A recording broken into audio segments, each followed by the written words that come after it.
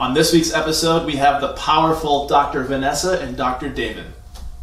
Yeah, I mean, I well after after college, I told you a little bit about how I got into personal training, and I was working at a gym, and there was just a trainer there that was like, "I'm gonna do a powerlifting meet. Let's get a team together and do it." So about six of us like trained for this powerlifting meet, and we all started lifting and.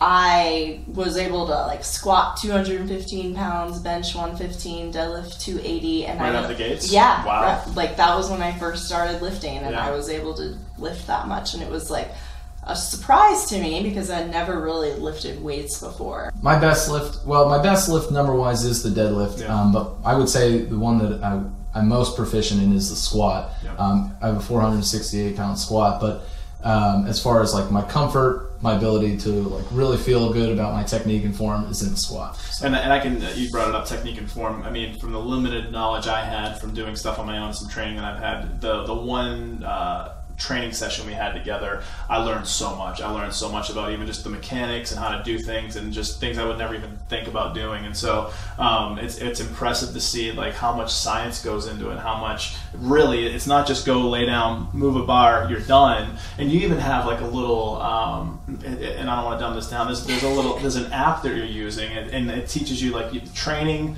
You can train at a certain frequency, or you can train at a certain weight. What, what is that app that you're using? Yeah, so just like we use systems in the office, we use systems in our powerlifting Yep. as well. So I use what's called reactive training systems. Okay. So